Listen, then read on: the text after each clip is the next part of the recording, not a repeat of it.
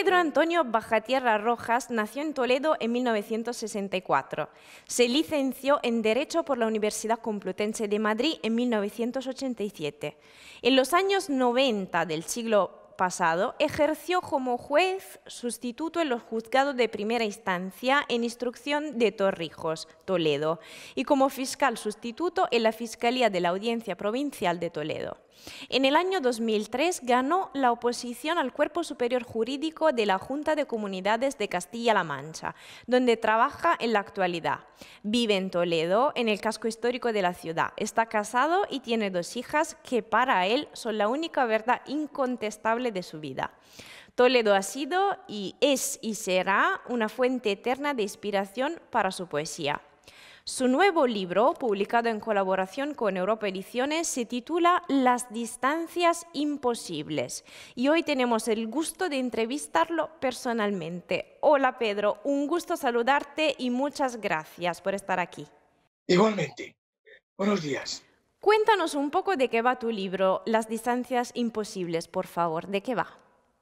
Mi libro va de la desilusión, creo, de mis antiguas fantasmas que he tenido que dar a través de la literatura y en este caso a través de la poesía.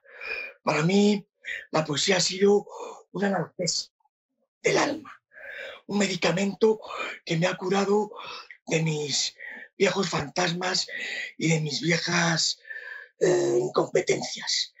Y el libro va básicamente de mi experiencia personal a lo largo de muchos años y de mis obsesiones eh, intelectuales y personales también.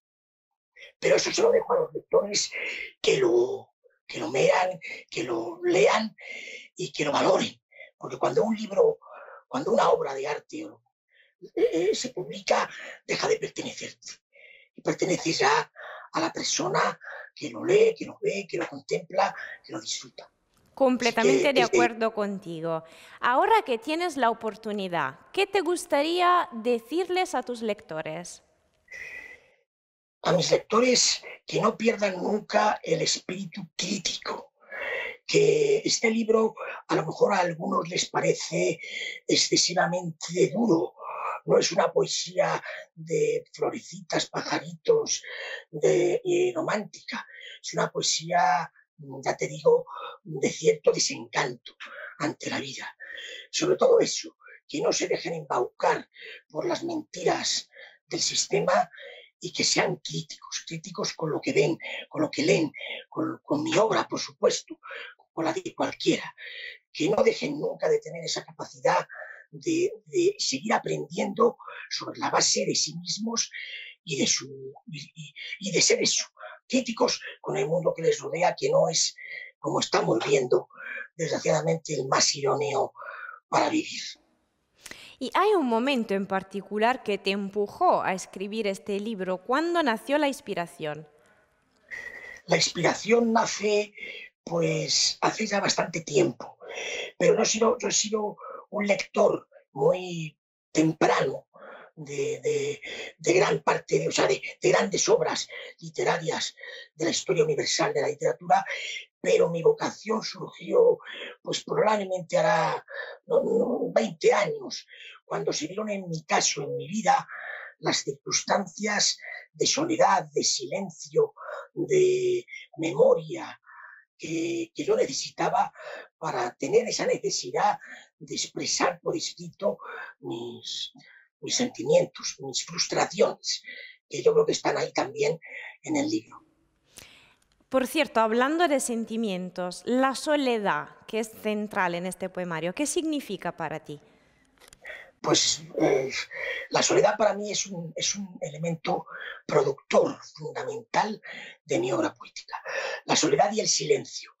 Creo que, en mi caso al menos, esa soledad buscada, esa soledad que necesito de, encontrarme conmigo mismo, de conocerme bien. Yo tardé mucho tiempo en conocerme bien, en quererme, en apreciarme, pero finalmente lo he conseguido y lo he conseguido a través de, esos dos eh, elementos de los que te hablo, que son la soledad y el silencio. Así que la soledad para mí ha sido muy, muy constructora, muy productora, muy positiva.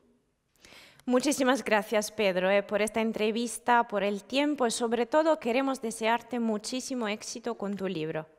Pues nada, gracias a vosotros y a ti en especial por tu dedicación y por tu, por tu inteligencia y por esas preguntas que me has hecho.